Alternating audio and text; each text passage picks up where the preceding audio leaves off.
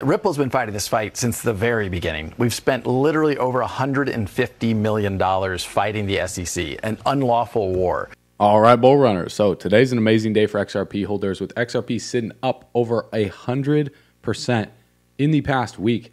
XRP now identifies as a meme coin. In this video, we're breaking down the XRP to the US dollar price chart compared to Bitcoin's dominance and why this rally for XRP is just getting started. So, for those of you guys that have been patiently waiting over the past couple years, wondering if now is a good time to sell your XRP, or if you've been sitting on the sidelines wondering if now is a good time to buy XRP, we're going to dive into all of that in this video. We're going to decode a major conspiracy theory about XRP, the Matrix, Gematria, Donald Trump, what Brad Garlinghouse had to say about their secret meeting, Trump's plan for credit cards, the bank war that happened in the United States with Andrew Jackson, and how what's happening today could be compared to what took place back in the 1800s, and Donald Trump's shocking plan to completely wipe out the $36 trillion of debt. Plus, I have some altcoins to share with you guys at the end of this video that have that 5, 10, 50, or even 100x potential for the rest of this bull run. So, comment 777 if you're feeling blessed, if you're feeling bullish, and if you're going to become the first millionaire in your family tree, confirm it by tapping the subscribe button. Let's run it.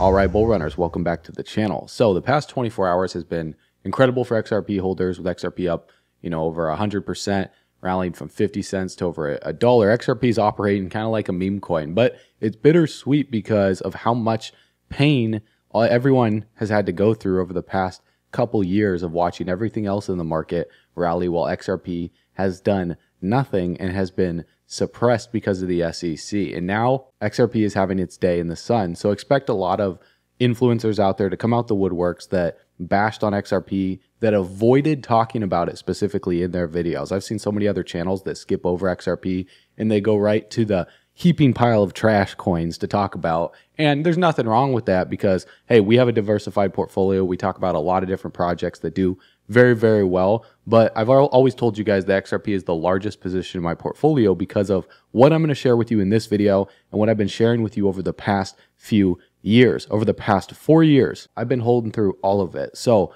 all of the emotions that you felt over the past four years, I've felt them too. So, I definitely feel you. But right now, I'm not overly excited. I feel very grounded because I know this is just the start. There's still a lot of work to do, and we have a lot left in this bull run. So let's dive right in. Let me talk about what we see happening in the markets and on the charts. I thought this was a great post by Crypto Prof talking about the total crypto market cap excluding Bitcoin. Two week MACD for altcoin closes tomorrow and could be a bullish cross. This would be the first two week MACD bullish cross in almost two years. So he says it's probably nothing, obviously sarcastic, but if we see this cross take place, while the altcoin market cap sits roughly at one point almost two trillion dollars, right at the previous high, well, we're still drastically below the all-time high. So if we catch up, and it's not a matter of if in my mind, it's just a matter of when, you know, yes, we could see a little bit of a consolidation or a little pullback in the short term, but inevitably when that happens, XRP and other big altcoins are going to absolutely fly. So with this month, altcoins, aka Total 2, have broken out of the reaccumulation pattern. This was also the case in 2016 and 2020. People are panicking again, even though the run seems to be just beginning. So much fun is still yet to come because when we look down here at the relative strength index on the monthly chart, you can see the reaccumulation circled in yellow and what happened with the RSI. Back in 2016, we got way overextended above 70 for this rally. We barely even breached above 70. For the 2020 rally, we didn't quite make it up to 70. So it's kind of in between what happened back in 2020 at the tail end of that year and in 2016 before that massive rally. So I'm expecting face melting gains for a lot of these different projects. And if you look at the double bottom where we see higher lows and then this massive breakout to uh, close to the previous high, but not quite up to it. The next move for the altcoin market is going to be parabolic. I think it could push it up to the all time high or th- roughly $3 trillion.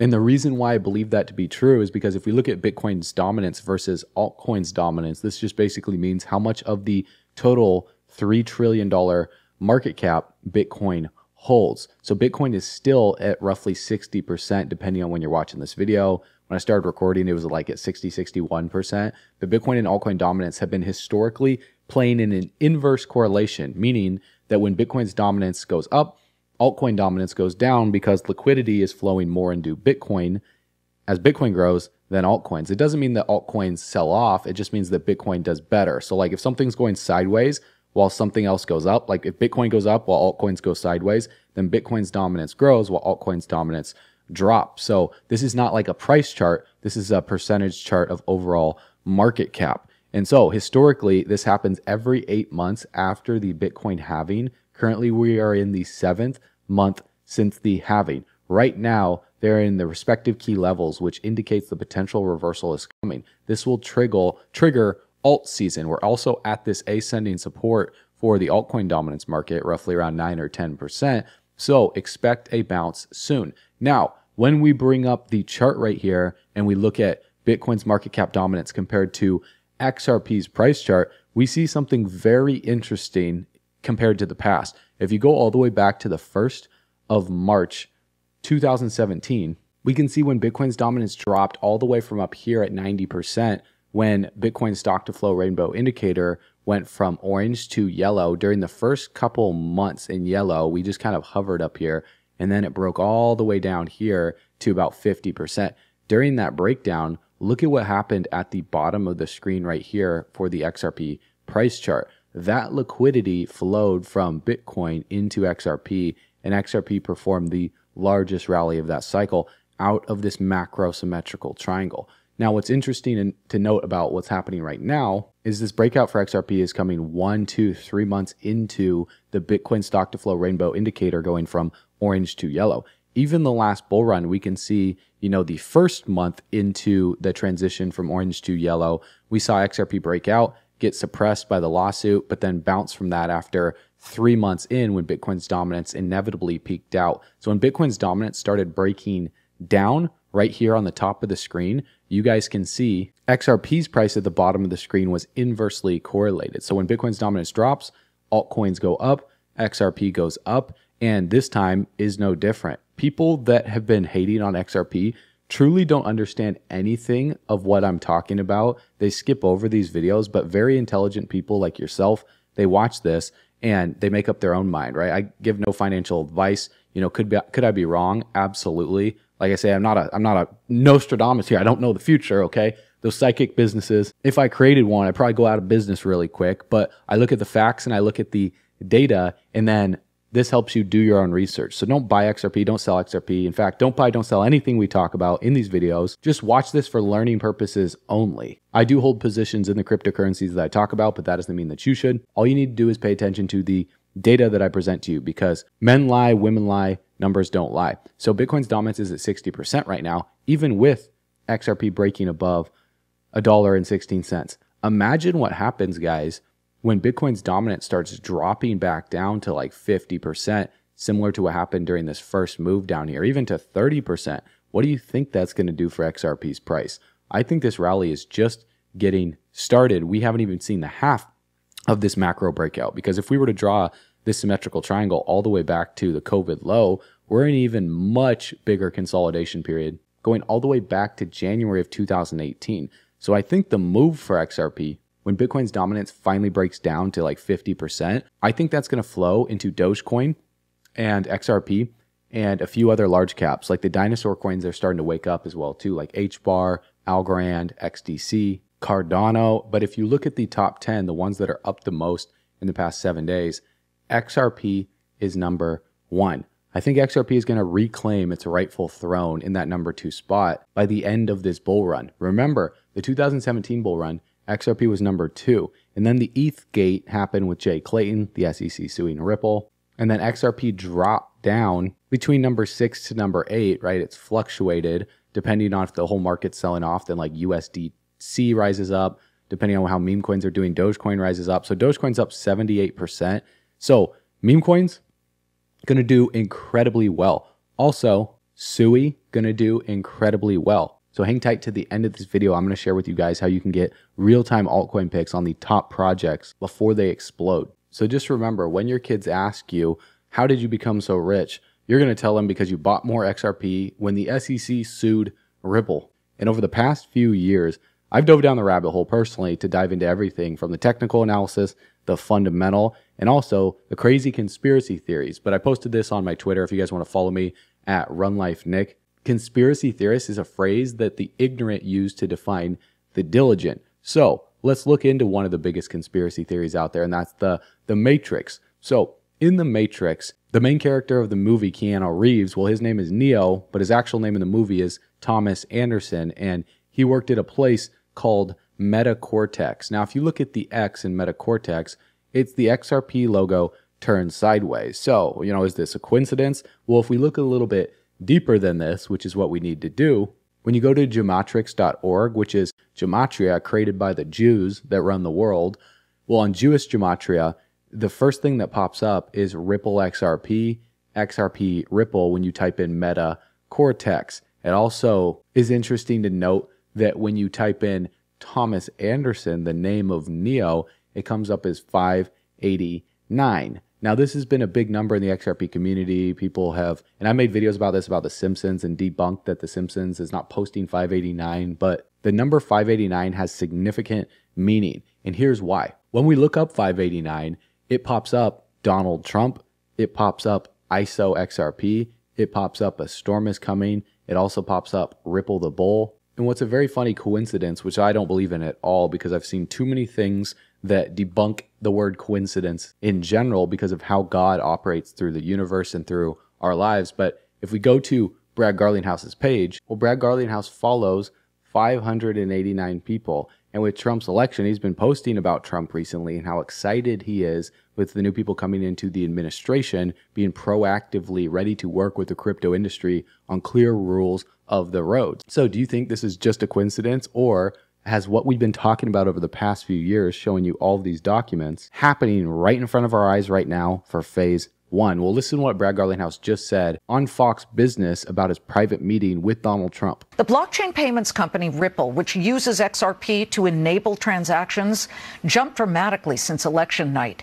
And it saw big surges earlier this week on speculation that its CEO held a meeting with the president elect following his victory, and speculation that anti crypto SEC chief Gary Gensler might soon announce his resignation, which we just talked about with former SEC uh, director. Norm Champ. Ripple CEO Brad Garlinghouse is here in a Fox Business exclusive in studio to discuss all of this. Okay, a 70% gain since election day.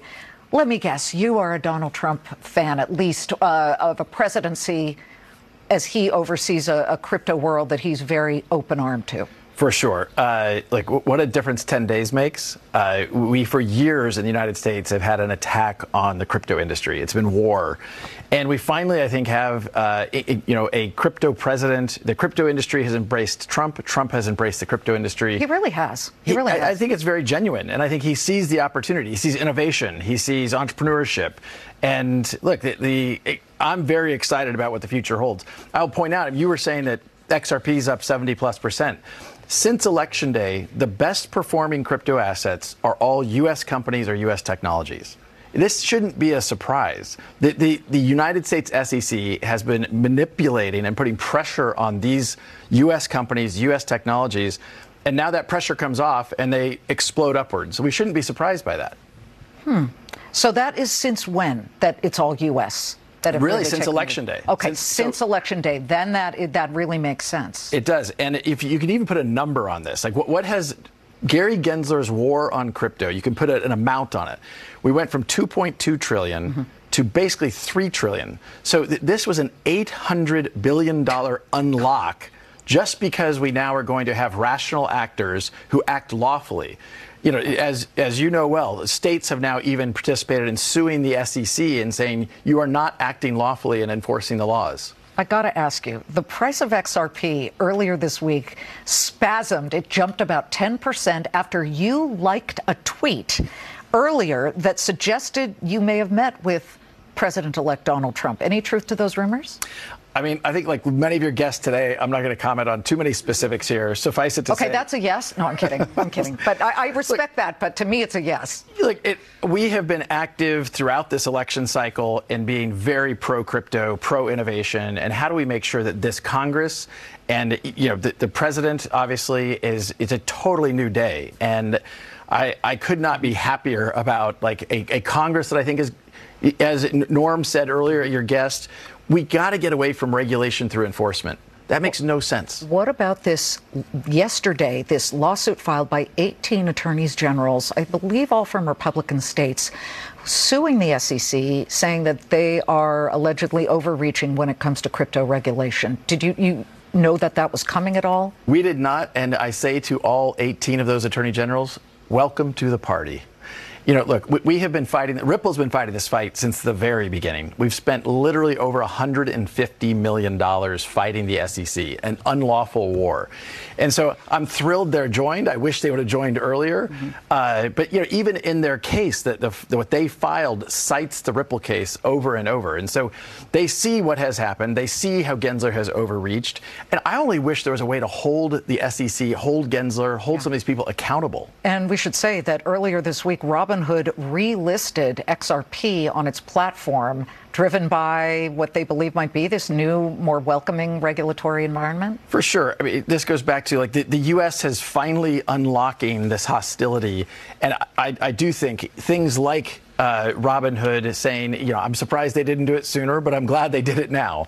And, you know, I expect. Robinhood, by the way, up 37% this month alone. Nice move for Robinhood. And, and he, Vlad has, Tenev, the CEO, sat here and said that crypto has been a huge driver for their bottom line. I mean, he said yeah. that it actually is an order of magnitude, a 10x decrease in cost for in order for him to trade. Brad, thanks for stopping by. Now, if you ask any expert in body language about that, he met with Trump and it was a very bullish meeting. What's also very bullish that has drawn controversy is Trump has proposed a 10% credit card interest rate cap during a rally back in September, calling it a temporary fix while Americans catch up. We can't let them make 25 and 30%, he added, referring to credit card issuers. Now, this is a big deal because Visa and MasterCard just lost a $5.5 billion settlement for imposing high fees, specifically swipe fees, on merchants and business owners. And over the past month, we've been helping businesses see what Visa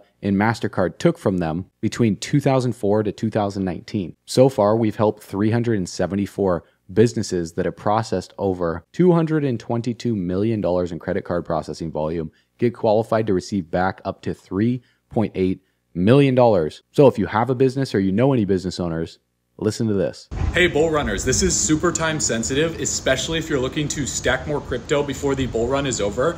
Did you know that Visa and MasterCard lost a 5.5 billion dollar class action lawsuit for imposing unfair fees on merchants and business owners. So, if you own a business or if you know any business owners that process payments with Visa or MasterCard between 2004 and 2019, that's 15 years, you could actually be owed a refund of 1 to 1.5% of your total revenue from that period that's a lot of money. For example, this business that generated 1.6 million in credit card revenue during those years is getting back $28,000. This business that generated over 7 million is getting back $93,000. And this business that generated over 20 million dollars during those years is getting back over 320 $1,000. That's money they didn't even know was on the table. And all they did was fill out a form through the link below this video. It literally takes less than a minute to see if you qualify, but you don't want to wait too long because the deadline to file is February 4th,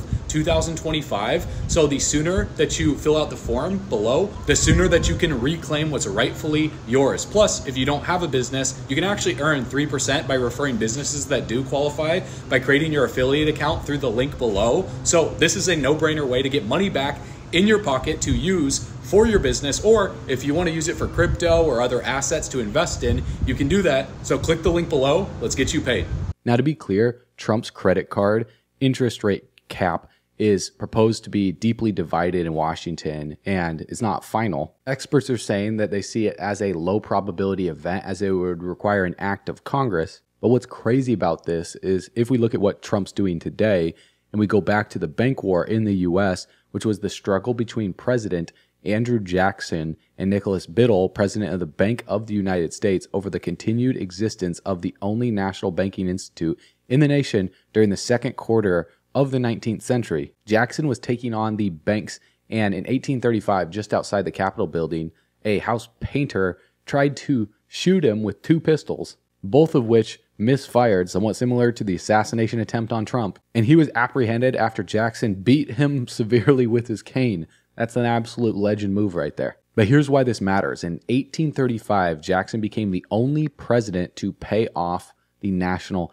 debt. He survived the first assassination attempt on a sitting president. Now, if we look at what the US national debt is today, it's $36 trillion. It literally just passed that like a day or two ago. This was at $30 trillion just recently. So this debt is flying through the roof. And Donald Trump has come out in interviews hinting at using Bitcoin to pay off the country's 35 trillion in debt. Who knows? Maybe we'll pay off our 35 trillion dollars, hand him a little crypto check, right? We'll hand him a little Bitcoin and wipe out our 35 trillion dollars. But how do you Now, is this a realistic solution? Well, Bitcoin would need to hit like $165 million per coin to do that. Or is there an even better way to pay off the debt? Well, when you have a president telling you to never sell your Bitcoin, you might want to listen. Never sell your Bitcoin, right? This was just posted by Cynthia Lummis saying it's in the hopper, time to full send the Bitcoin Act of 2024 on congress.gov, which still has to pass the Senate and pass the House. But now that the House and the Senate are majority Republicans, this increases the likelihood through the roof to get this passed. And in this bill, the plan is to establish a strategic Bitcoin reserve and other programs to ensure the transparent management of Bitcoin holdings of the federal government to offset costs utilizing certain resources of the Federal Reserve System and for other purposes. And right here it says just as gold reserves have historically served as a cornerstone of national financial security, Bitcoin represents a digital age asset capable of enhancing the financial leadership and security of the United States in the 21st century global economy. The acquisition and long term storage of substantial quantities of Bitcoin by the United States can strengthen the financial condition of the United States, providing a hedge against economic uncertainty and monetary instability. This is a big deal, guys. If you don't hold any crypto 20 years from right now, you're going to look back and you're like, what was I thinking? It's like the people today that look back to the early 2000s. They're like, what was I thinking? I could have bought Amazon stock. I could have bought Microsoft. I could have bought Google stock. I could have bought Tesla stock. I should have bought Nvidia. Coulda, shoulda, woulda, but you never did. Don't be that loser. Subscribe to the channel right now because we've been backing up our truck all the way to the bank. But this is super bullish, guys. I'm not going to read the rest of this. This just basically means number goes up with more stuff like this being introduced, but it still needs to pass the Senate, pass the House, go to the president. Of course, Trump would sign into law and then become law. So look at the open interest for Bitcoin. Money is pouring in like a waterfall. The market is extremely frothy right now, so pay attention because something is going to happen soon. And the Federal Reserve is clinging on to their last finger, and Jerome Powell does not want to let go. Even when asked about what his thoughts are on Trump demoting him or firing him, listen to this. Do you believe the president has the power to fire or demote you, and has the Fed determined the legality of a president demoting at will any of the other governors with leadership positions? Not permitted under the law. Not what? Not permitted under the law. Thank you.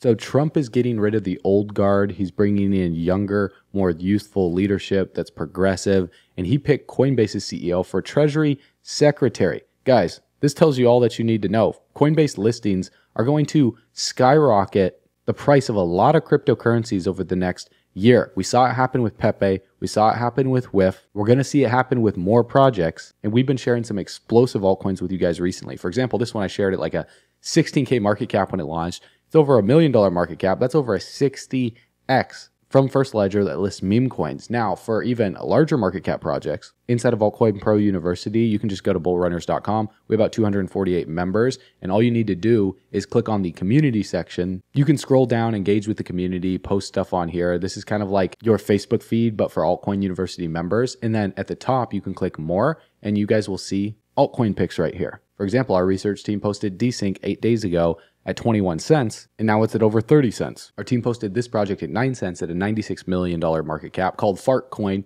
I know, completely stupid, It is. And now it's sitting at 32 cents, up 3 to 4x over the past week. It's so stupid that you're going to be dumb rich by the end of this bull run with all these picks. And there's all sorts of altcoin picks in AI, gaming, meme coins, real world assets, all these different projects dropping in here from large cap, mid cap, low cap projects that our research team is finding this entire bull run. So get in right now, guys. It's literally only $97 a month. You can click the link in the description below, or it's $970 a year. You could save $194, and unlock exclusive bonuses. If you would have taken action over the past week and seen those altcoin picks, some of them up 2x, some of them up 3x, it would have completely paid off the $970 or $97 a month. It's so measly. That's tiny. That's what I tipped last night in dinner. Now, I make no guarantees that you're going to make profits from these picks because crypto is very risky. It's volatile. That's why we provide you with 100 plus expert curated classes, which is a comprehensive library crafted by industry experts. And you just go into the classroom right here through the link below. Go through every single module, start here, go through the crypto foundations, Web3 navigation blueprint,